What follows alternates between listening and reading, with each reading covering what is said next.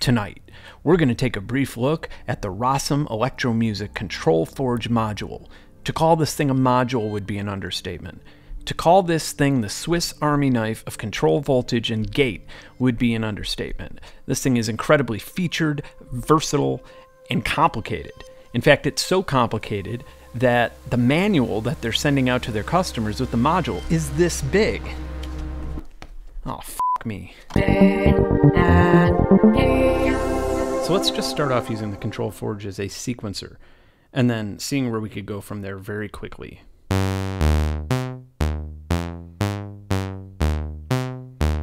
Okay, and if I want to multiply the time. Alright, so going into program mode, all of these notes are absolute, but I can also make them relative to the note previous. So you could kind of just go out of control with melodies. So the first note's coming from CV3, as you can see here. I'm going to change that to this. And let's make five. Let's see, find random. Okay, so five will be random. Turn that level all the way up.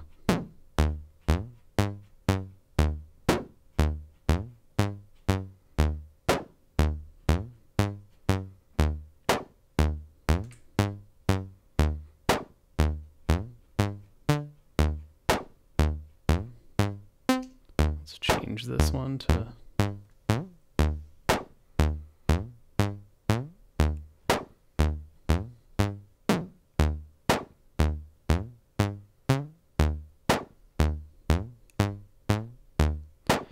Okay, so now we could also change the timing of three. Make it really long. Let's get the release.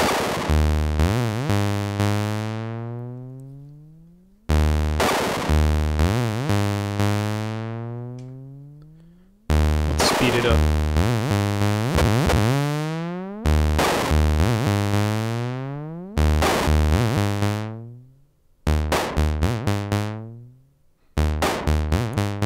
And as you can see, it's feeding uh, feeding my life forms a gate and CV for the uh, melody. And so, of course, any of these CV outputs can be used with uh, anything you want to use them with. So now let's play with the unique ability to go from absolute to relative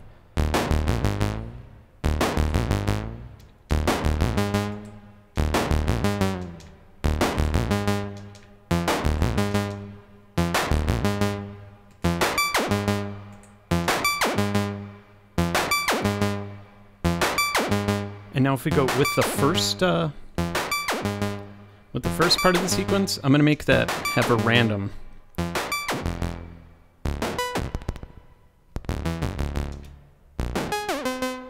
You could also select the type of random you want, if you want it linear random or Gaussian.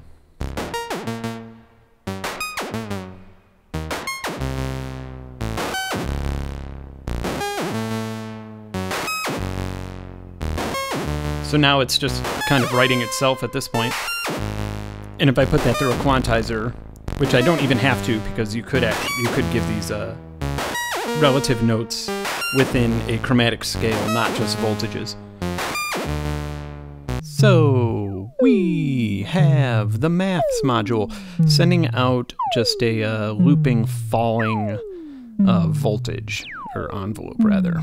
And now we're gonna take, we're just gonna, and that's going into the VCO, of the oscillator. We're gonna take that out. We're gonna put in the CV1 of the control forge, and then we're gonna pop that right back into the VCO.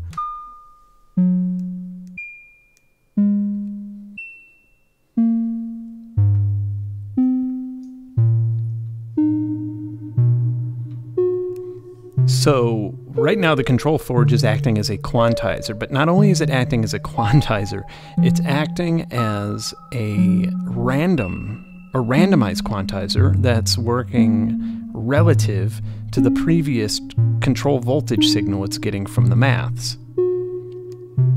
crazy. This one's fun. I have the gate of the Mother 32 uh, going into a mult and then coming out, going in here, sort of giving this some uh, tempo. And then I have uh, the notes of the Mother 32, whatever note I'm pressing. So I could change it. And uh, that's going into the uh, CV1. So, how we have this working is the first note, if we, and then the, you're hearing the rings uh, module. So what we're he- hearing here is, uh, so this one, CV1, the rest are just DC delays, but as you can see, they're all relative to that first note, but that note is absolute, and that note is again divided, or divided, that note is decided by CV1. Uh, so let's give it a kick drum, which is basically the clock divided by two.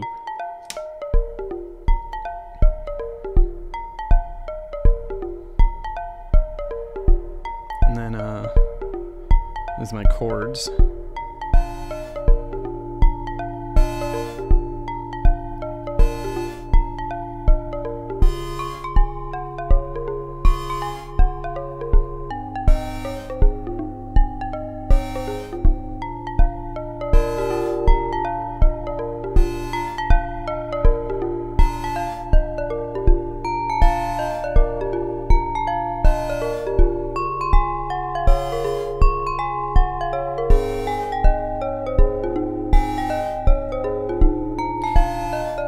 Also change the time uh, very easily, just with the data knob here.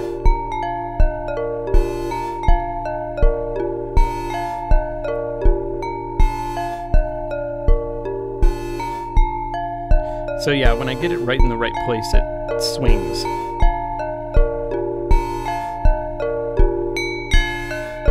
Oh hi, I'm a sine wave, and this is an audio rate.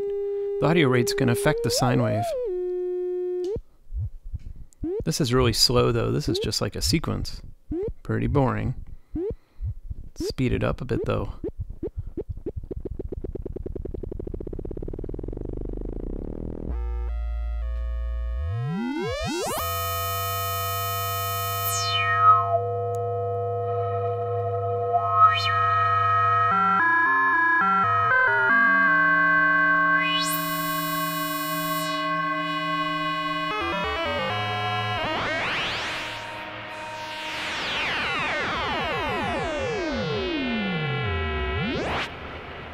Do that with your VST.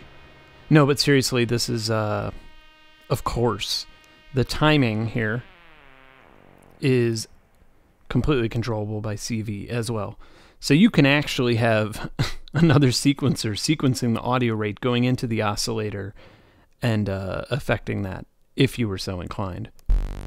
And right now, while not the prettiest sounding thing in the world, we have every sixth uh, clock tick triggering this sequence. And then uh, I can also have it trigger my effects.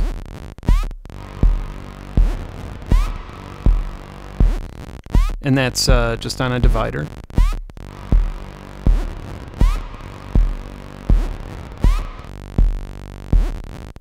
So, truth be told, I haven't even scratched the surface of what this thing's capable of, and if you've watched it thus far, you're probably already ordering one.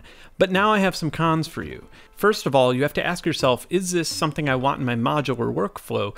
You're patching cables here and there, you know where everything is, you're kind of doing that, and then all of a sudden you have this little screen, and you have these little knobs, and you have to like press a knob once or twice, press a button twice or three times to get a different uh, thing on the menu. Uh, you have to go through the sequences. It's not all that intuitive, but it's about as intuitive as you could get for something like that.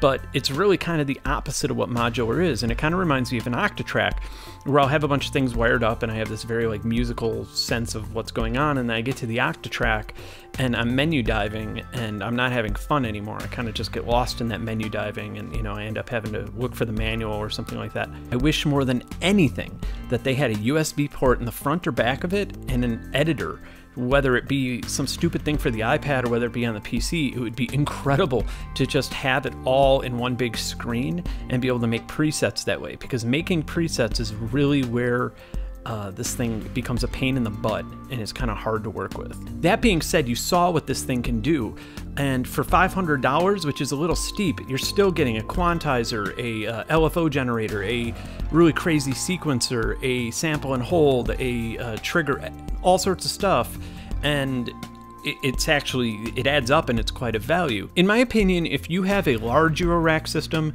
this is a must-have, and you're probably already on your way to ordering one. If you have a small one, uh, I would say three rows or less. Maybe you might want to start with a Make Noise Maths if you don't have one already, because this is basically a digital workstation version of a Make Noise Maths, if that makes any sense, uh, with a lot more capabilities.